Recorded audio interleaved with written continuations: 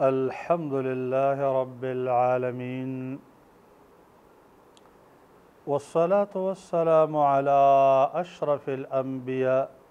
وخاتم المرسلين ونبينا محمد صلى الله عليه وسلم وعلى آله وأصحابه أجمعين ناظرين كرام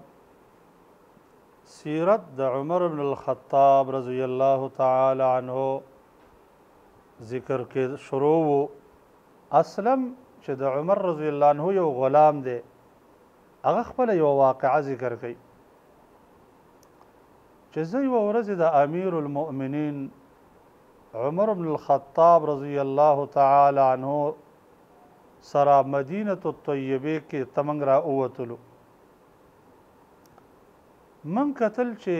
یو خیمه ده عمر رضی الله تعالی عنه د دغه خیمه طرف ته وراله چې معلومات وکړه په دې خیمه کې یو زنانه ده چې پاغه باندې د ولادت د ماشوم د پیدا کېدلو درد دی عمر صاحب دا رضی الله تعالی عنه د هغې د حال په باره کې پوښتنه وکړله. هغه وویل، انا امرأة غریبة ولیس عندي شیء. زه یو زنانه یم، مسافره یم او دلته زما د ماشوم د ولادت موقع راورسېدله، ما سره هېڅ څه شی نشته. عمر رضی الله عنه چې د دې زنانه دا حال ولید ویې ژړل. په منډه منډه باندې کور ته رالی کور کې خپل بیبي ته آواز وکړ ام کلثوم بنت علی ابن ابي طالب او وتویل هل لك في اجر ساقه الله اليك اليك اے ام کلثوم یو اجر الله دلته را نږدې راوستی دی ستا د هغې اجر په حاصلولو کې څه رغبت نشته دا واقعه ته ټولو بیان کړه چې داسې موږ وتلی یو زنانه ده او د هغې د ماشوم درد دی نو د هغې زنانه ته ضرورت دی چې هغه له خدمت وکړي او د هغې خوراک او سکاک ته ضرورت دی امیر المؤمنین په خپله ملا باندې اوړه، غوړي او داسې نور څیزونه پار کړل او ام کلثوم ته یې وویل چې د ماشوم د ولادت دپاره څه ضرور وي هغه ته د ځان سره روان کړه. کله چې دا لاړ دا ام کلثوم عمر رضی الله عنه ته داخله شوه او هغې نه پېژندله چې دا څوک ده؟ او امیر المؤمنین چې د هغه خدمت شروع کړ داغه خاون بار ناستو امیر المؤمنین داغه سره کې ناست چې کله ماشوم پیدا شو ام کلثوم عمر صاحب ته وویل ویل یا امیر المؤمنین بشر صاحبک بغلام امیر المومنین دې ملګري ته دې زیری ورکړه چې ماشوم پیدا شو کله چې دې سړی دا आवाज په دې پوه شو چې دا امیر المؤمنین زما خدمت ته راغلی دی نو دا خبره ډیره زیاته لوی وګڼله او عمر صاحب ته اعتذار پیش کو عمر صاحب تل پروا نه کوي زه هم یم د دې خدمت دپاره. بیا یې هغوی ته څه خرچه ورکړه او څه چې ضرورت و هغه یې ورته ورکړه. نو تاسو وګورئ چې امیرالمؤمنین د دنیا په دومره لویه منصب او عهده باندې دومره لوی مقام باندې دنیا د ده رعیت دی خو دی د یو زنانه د ولادت خدمت ته په خپله حاضرېږي. او یوازې خپله نه بلکې خپله بي بي هم د خوب نه رابیداروي او ورته وایي راځه د اجر د حاصلولو موقع ده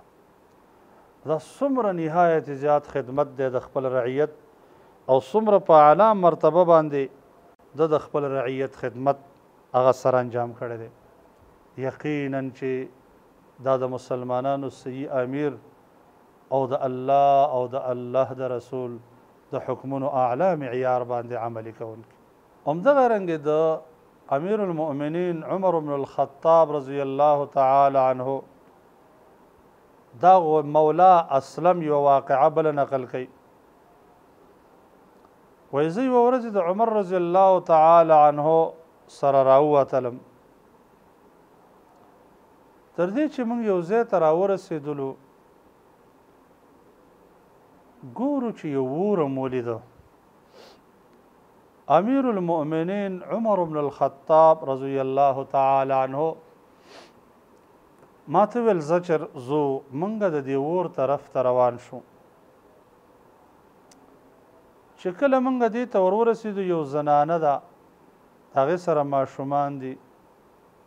دا ماشومان د دې کټوۍ نه تاویږي او کټوۍ په اور پرته ده او اور بل دی.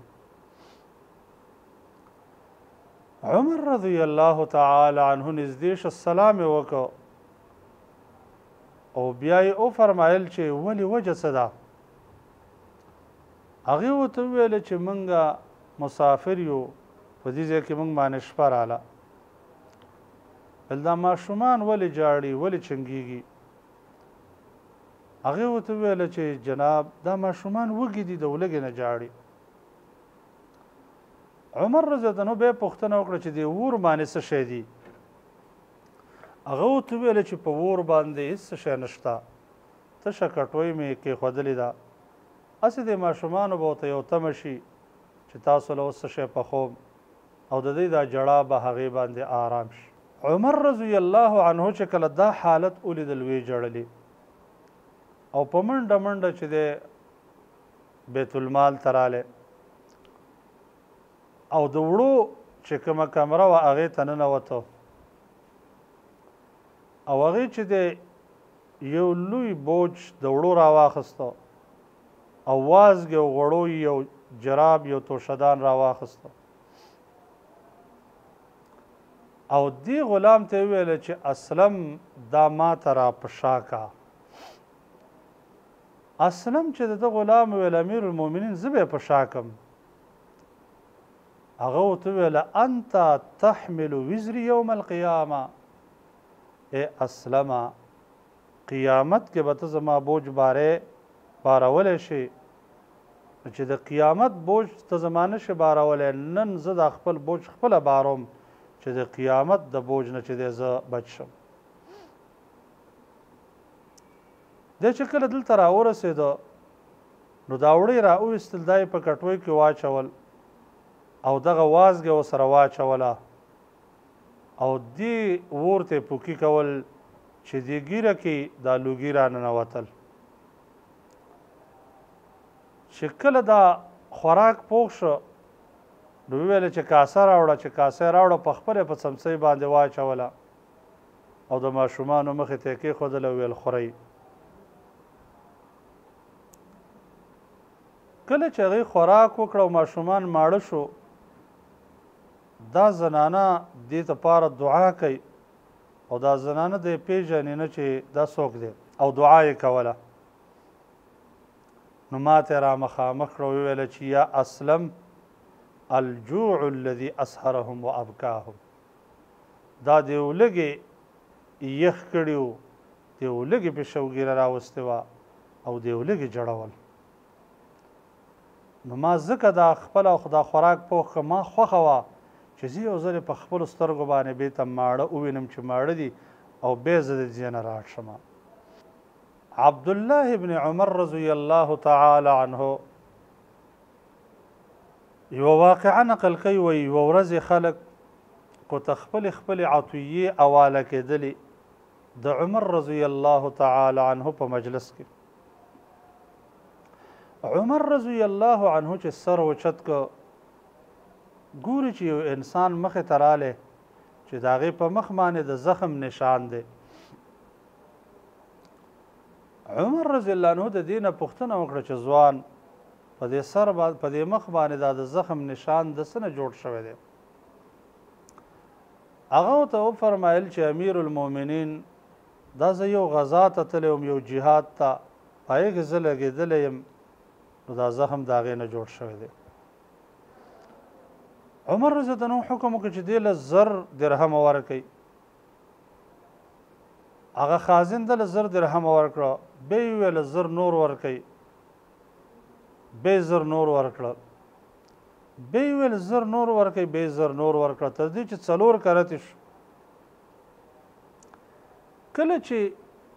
دې سړي ته دا حواله شو نو په دې وخت کې دې سړي د حیا وراله چې دا څومره لوی عطیه یې مال راکړه نو په دې وخت کې دا بهر ته وته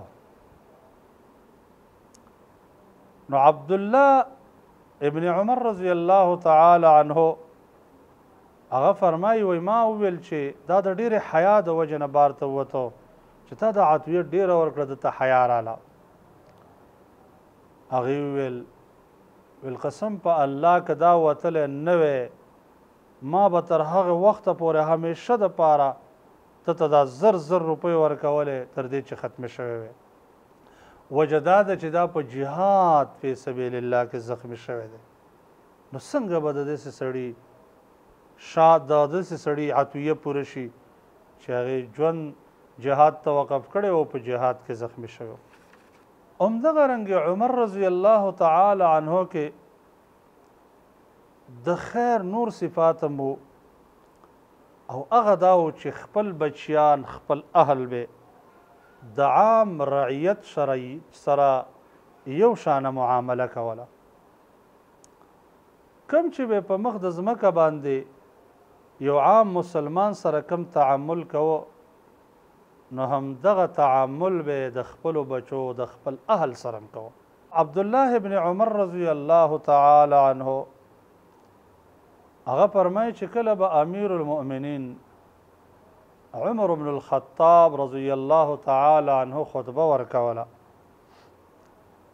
نو خلک به راجمع کړل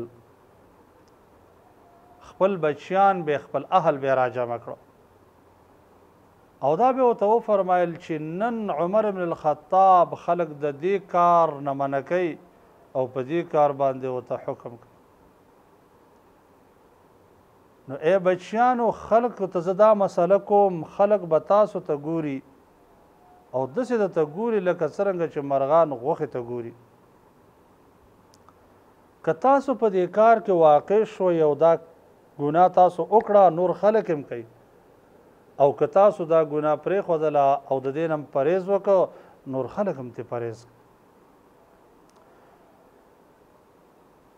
نو خبردار که ما د یو کار نه منع کړی او په تاسو کې یو تن ما ته راوستلی شو نو زه به هغې ته دوچند عذاب ورکوم دوچند سزا ورکوم نورو خلکو ته چې یو چند ورکوم که زما په اهل کې دا عمل چا وکړ هغې ته به دوچند سزا ورکوم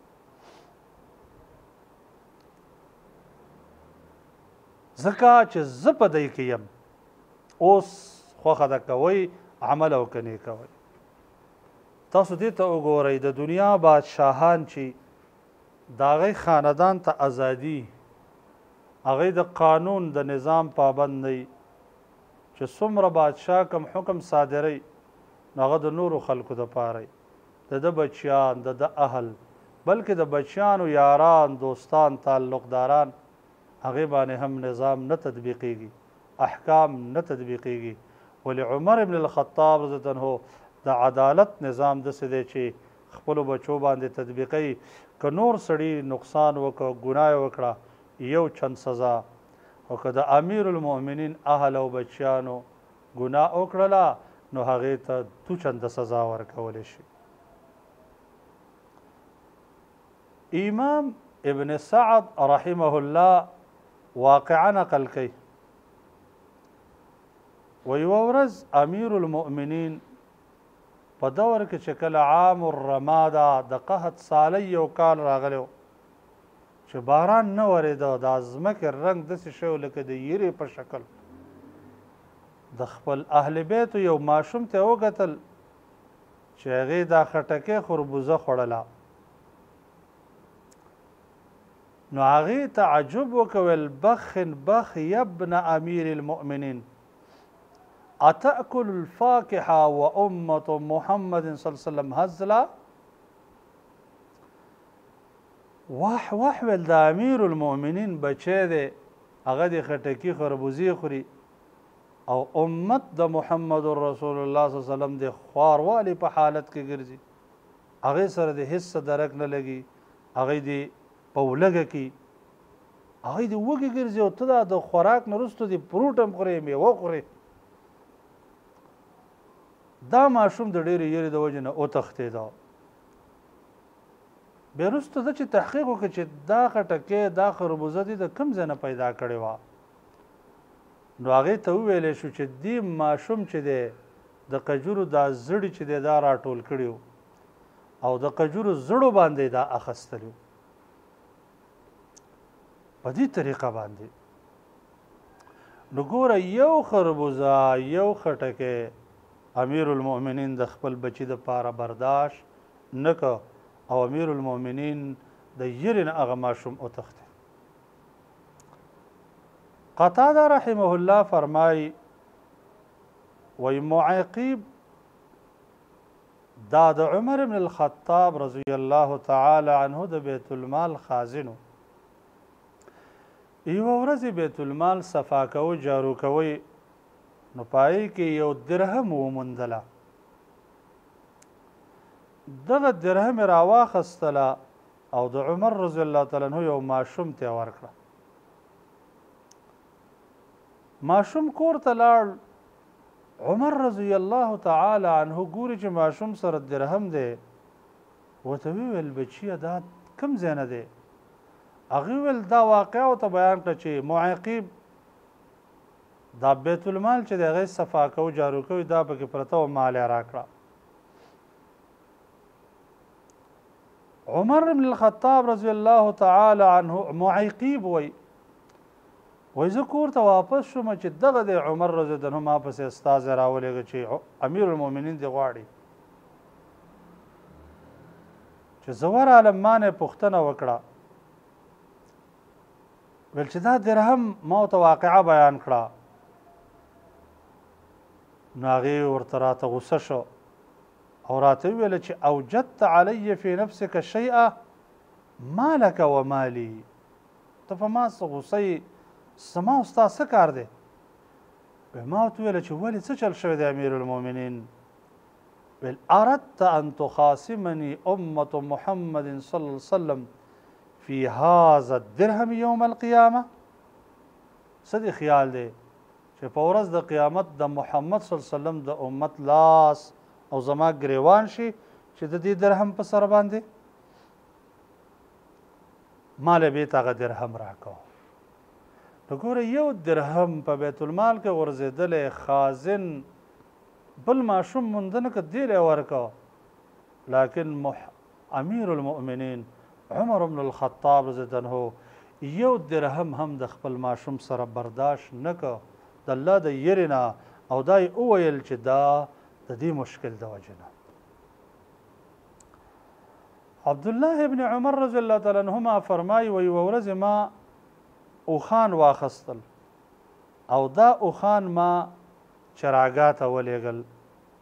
چې دا د مدینې په بر سر کې یو چراګاه هغه ته مولګل چې هلته به غیا خوري دا هم د نورو خلکو د اوخانو سره سریږي او خو چاق شي به به ته خرڅ کوم دا اوخان چې کله خ چاق شو عمر رضی الله عنه بازار ته رااله په بازار کې اوویل چې دا اوخان د چا دي چې دا چاق دي ویل دا د عبد الله ابن عمر دي هغه وویل، بخښن بخښ ابن امیر المؤمنین، تعجب تعجب واه واه دا د امیر المؤمنین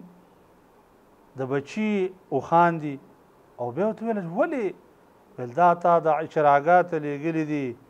نو کوم ځای چې ښه ببرې خلک وایي د امیر المؤمنین بچی دی دا دې دلته وڅرېږي خیر دی دا د امیر المؤمنین بچی دی دلته دې وڅرېږي نو په دې وجه باندې خلکو د امیر المؤمنین په وجه ستا لحاظ کړی دی او د اوخان په خبرو پولو باندې څرېدلي دي نو چاک شوي دي په دې وخت کې عمر ابن الخطاب رضی الله عنه رااله او ته وی ویل چې عبد الله ابن عمر دا را سمت سمره پیسې چې دی په ورکړې دي هغه ستا او دا چې چاک شوی دی سارب شوی دی دا پیسې بیت المال ته حواله کا یقینا چې دسه بهترین شخصیت چې الله دومره عدل هغه ته ورکړی وو، دومره شفقت مخلوق باندې، دومره ترحم او دومره خپل اهل بیت د عامو مسلمانانو سره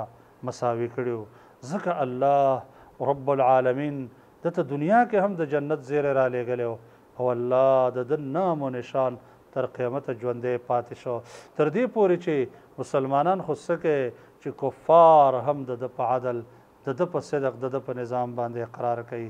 رضی الله عنه الله رب العالمین دې ترې راضي شي.